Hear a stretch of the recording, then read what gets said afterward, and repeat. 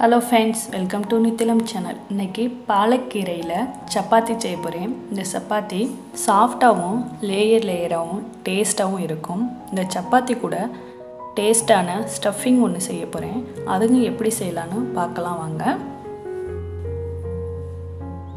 ஒரு அகலமான பாத்திரத்தை எடுத்துக்கோங்க. அதில் தண்ணி ஊற்றி கீரை பாலக்கீரையை சேர்த்துக்கலாம். கீரையை குட்டி குட்டியாக கட் பண்ண வேணாம். ஒரு இலையை ரெண்டாக கட் பண்ணால் போதும். கீரை தண்ணியில் மூழ்கிற அளவு சேர்த்துக்கிறேங்க தண்ணி.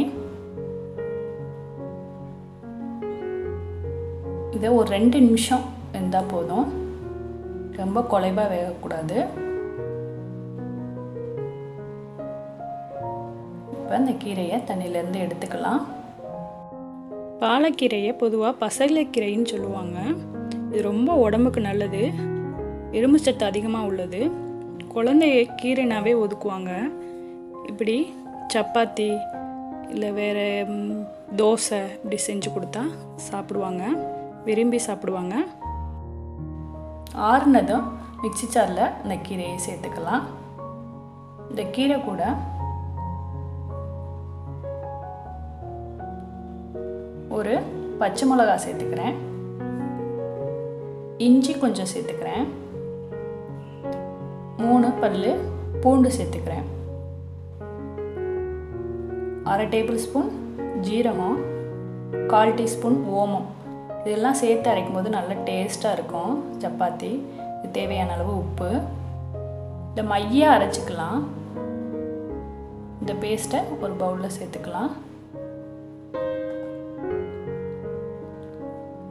ஒரு கட்டு கீரை சேர்த்துருக்கேன். அதுக்கு ஒரு பவுல் கோதுமை மாவு எடுத்துக்கிறேன். இது கூட கொஞ்சமாக தண்ணி சேர்த்து பிசைஞ்சுக்கிடுவோம் ஆல்ரெடி கீரையிலையும் தண்ணி இருக்குது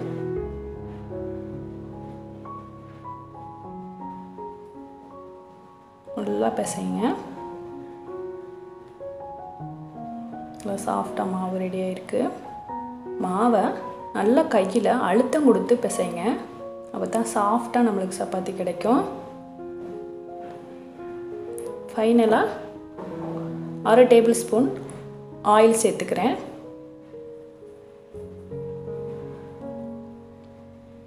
நல்லா பிசைஞ்சிட்டு இது ஊறணும் ஒரு பத்து நிமிஷம். நல்ல காட்டன் கிளாத் வச்சு மூடி வச்சிடலாம். இந்த பத்து நிமிஷத்துக்குள்ள நம்ம சூப்பரான டேஸ்டான ஸ்டஃபிங் ரெடி பண்ணிக்கலாம். டூ டேபிள் ஸ்பூன் ஆயில் ஊற்றிக்கோங்க கடுகு உளுந்து பருப்பு ஒரு டேபிள் ஸ்பூன் வாசனைக்காக பட்டை பூவு கொஞ்சம் கருவேப்பிலை ஒரு பச்சை மிளகா கொஞ்சம் பெருசு பெருசாக கட் பண்ணிக்கோங்க.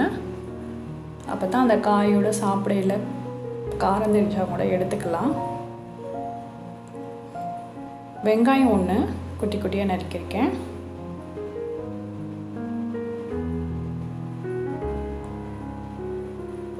நல்லா வதக்குங்க. இது கூட பீன்ஸ் வந்து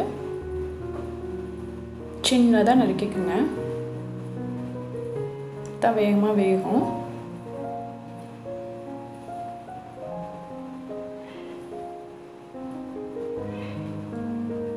அடுத்து ஒரு கேரட் பெரிய கேரட்டு துருகி வச்சுருக்கேன். இது கூட சேர்த்துக்கலாம். சேர்த்து நல்லா வதக்கிட்டு ஒரு உருளைக்கிழங்கு துருகி எடுத்துக்கிறேன்.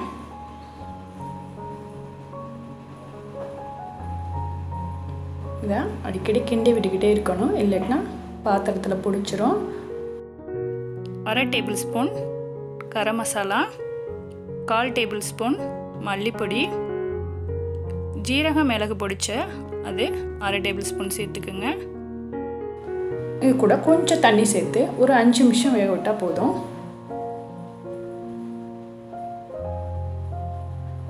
இப்போ சூப்பராக ரெடி ஆகிருக்கு ஸ்டஃபிங் இந்த ஸ்டஃபிங் டேஸ்ட்டாக இருக்கும். வேணும்னா உங்களுக்கு பீட்ரூட்டு கூட துருவி போடலாம். இது கூட கொஞ்சம் கொத்தமல்லி சேர்த்துக்கலாம். டேஸ்டான ஸ்டஃபிங் ரெடி ஆயிடுச்சு. இப்போ அடுத்து மாவு நல்லா சாஃப்டாக ஊறி இருக்கு. குட்டி குட்டியாக உருண்டை பிடிச்சிக்குங்க. ரெடி பண்ணி வச்சுட்டு அந்த உருண்டையை மாவில் நல்லா சேர்த்து சப்பாத்தி கட்டையில் தேய்க்கலாம்.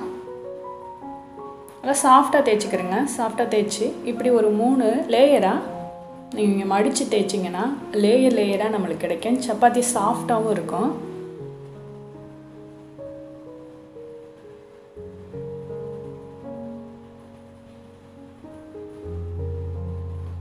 தோசைக்கல்ல போட்டு சப்பாத்தி எடுத்துடலாம். சப்பாத்தி கூட கொஞ்சம் நெய் சேர்த்துக்குங்க. நல்லா டேஸ்ட்டாக இருக்கும். சூப்பரான சப்பாத்தி ரெடி ஆயிடுச்சு. இந்த சப்பாத்தி ரொம்ப உடம்புக்கு நல்லது பாலக்கீரை இப்படி குழந்தைங்களுக்கு சப்பாத்தி கூட சேர்த்து சாப்பிட்றதுனால டேஸ்ட்டு சூப்பராக இருக்கும். சூப்பரான சப்பாத்தி ரெடி ஆயிடுச்சு. கொஞ்சம் பற்று போட்டு இங்கே பாருங்கள் எப்படி லேயர் லேயராக வந்திருக்கு. சாஃப்டாகவும் இருக்குது இந்த ஸ்டஃபிங்கோடு சாப்பிடையில அவ்வளோ டேஸ்ட்டாக இருக்கும். சப்பாத்தி கூட இந்த ஸ்டஃபிங்கை சேர்த்து ரோல் பண்ணி குழந்தைகளுக்கு கொடுக்கலாம். நல்லா விரும்பி சாப்பிடுவாங்க. நல்லதும் கூட. ஸ்கூலுக்கு கூட ஸ்நாக்ஸாக வச்சு விடுங்க. கண்டிப்பாக பிடிக்கும் குழந்தைங்களுக்கு. உங்கள் வீட்லேயும் செஞ்சு பாருங்கள் பிடிச்சிருந்தால் லைக் பண்ணுங்கள் ஷேர் பண்ணுங்கள் கமெண்ட் பண்ணுங்கள் மறக்காமல் நித்திலம் சேனலுக்கு சப்ஸ்கிரைப் பண்ணுங்கள் தேங்க்யூ ஃபார் வாட்சிங்